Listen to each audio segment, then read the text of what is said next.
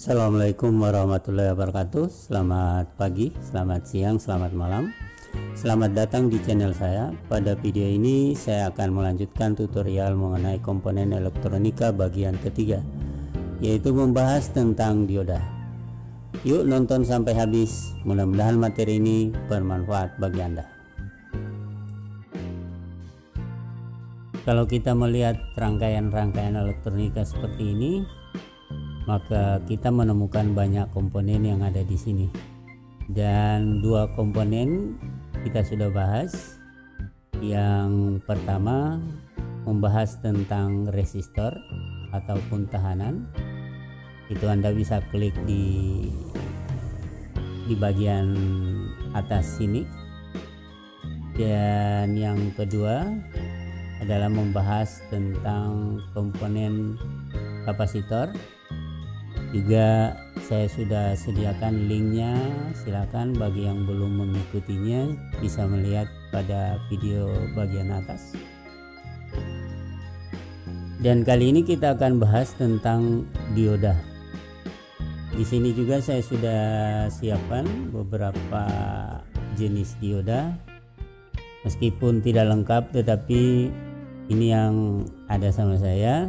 Sementara yang lainnya nanti diperlihatkan dalam bentuk gambar. Kita mulai dengan jenis-jenis dioda. Yang pertama saya bahas dulu tentang dioda. Dioda ini adalah komponen elektronika merupakan uh, penghantar listrik dan dia dikenal sebagai semikonduktor yang sifatnya menghantar arus listrik ke satu arah saja jika arusnya terbalik, maka diodanya menghambat. Karena sifatnya ini, maka dioda sering digunakan untuk uh, menghambat arus listrik dari arah sebaliknya. Dan dioda ini dibuat dari bahan silikon dan germanium. Kemudian jenis-jenis dioda yang pertama adalah dioda jenis biasa yang dikenal dengan dioda rectifier. Dan ini umumnya di, ditemukan pada power supply atau adaptor. Lambang dioda ini digambarkan dengan jadi lambangnya seperti ini. Ya. dan di sini ada garis. Kaki ujung sebelah sini dinamakan dengan anoda. Sementara yang di sebelahnya adalah katoda yang kedua adalah dioda bridge atau bridge diode Dioda ini terdiri dari empat dioda normal dan ini digunakan sebagai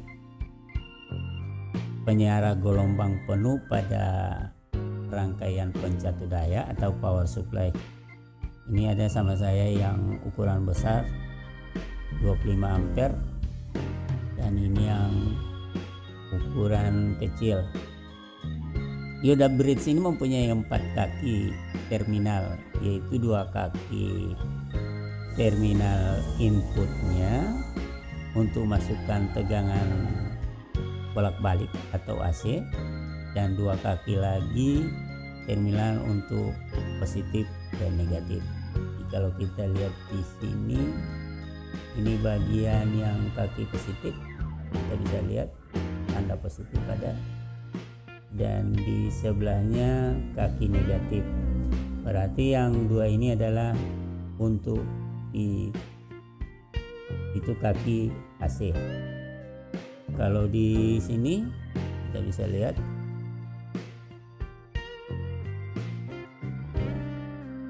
Yang di tengah dua ini yang dua ini adalah untuk kaki AC yang di sebelah kanannya adalah kaki negatif dan yang di sebelah kiri adalah kaki yang positif. Sepintas dia bisa digambarkan ini menjadi seperti ini. Itu simbolnya biasa digambarkan seperti ini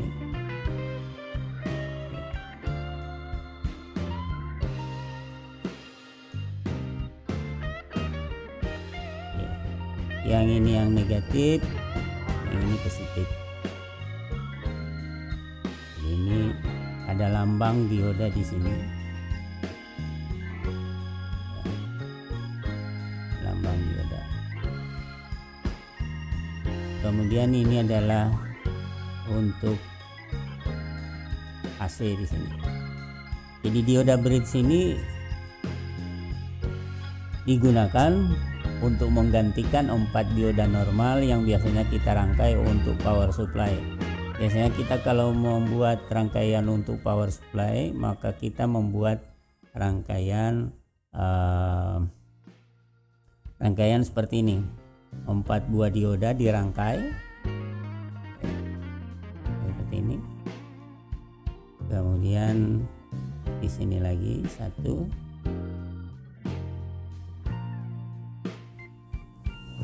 sini satu di gambarnya nanti seperti ini. Jadi ini yang positifnya ini negatifnya dan ini untuk kaki AC kalau digambar dengan simbol biasanya begini saja. Dan pada skema biasanya digambarkan modelnya seperti ini. Jadi ini empat dioda biasa. Bisa digantikan dengan satu buah dioda bridge bagian ketiga adalah dioda Zener. Dioda Zener ini digunakan untuk menstabilkan tegangan. Biasanya digunakan pada catu daya atau power supply. Dioda Zener ini tersedia dalam berbagai macam ukuran dan tegangannya bermacam-macam. Ada yang 15 volt 12 volt ada yang 9 volt dan sebagainya. Jadi sangat bervariasi dan ini manfaatnya adalah untuk digunakan pada power supply sebagai penstabil tegangan misalnya kita menginginkan power supply-nya tegangannya stabil di 12 volt maka digunakan dioda Zener 12 volt. Simbol dari dioda Zener itu digambarkan dengan simbol sebagai berikut.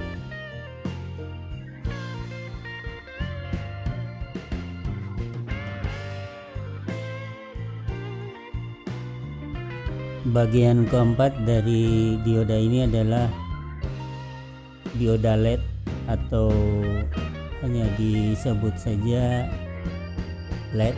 LED ini merupakan jenis dioda yang dapat memancarkan cahaya monokromatik ketika kita berikan tegangannya.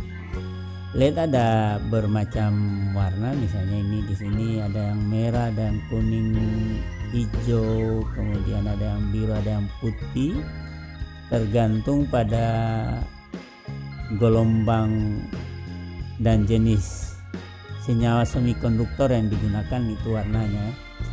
Dalam kehidupan sehari-hari kita banyak melihat aplikasi dari LED ini atau LED ini. Seperti lampu-lampu penerangan yang ada di rumah ataupun di jalan raya lampu kendaraan sebagai indikator dari alat-alat elektronik. Kemudian digunakan juga sebagai lampu dekorasi dan iklan. Juga bisa ditemukan pada televisi LED digunakan sebagai backlight. Dan simbol dari dioda LED ini digambarkan seperti berikut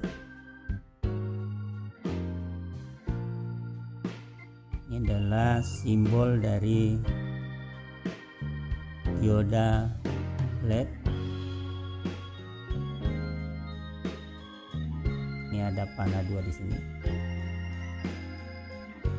Bagian sebelah kanan adalah katodanya negatif kemudian di sebelah kiri ini adalah anoda. Dioda selanjutnya saya bahas dalam bentuk gambar yang pertama adalah dioda laser dioda laser itu sering digunakan pada perangkat audio video seperti di video player dan blu-ray laser pointer scanner barcode alat ukur jarak dan printer laser.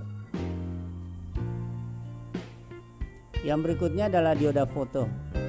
Dioda foto adalah jenis dioda yang dapat mengubah energi cahaya menjadi arus listrik Penggunaannya antara lain sebagai sensor pendeteksi cahaya pada alat-alat seperti kamera, scanner, alat-alat medis, dan lampu-lampu penerangan. Yang berikut adalah dioda Schottky. Dioda ini banyak digunakan pada aplikasi rectifier atau penyiaran, clamping, dan aplikasi RF atau radio frekuensi. Selanjutnya adalah dioda tunnel. Dioda tunnel adalah jenis dioda yang mampu beroperasi pada kecepatan yang sangat tinggi.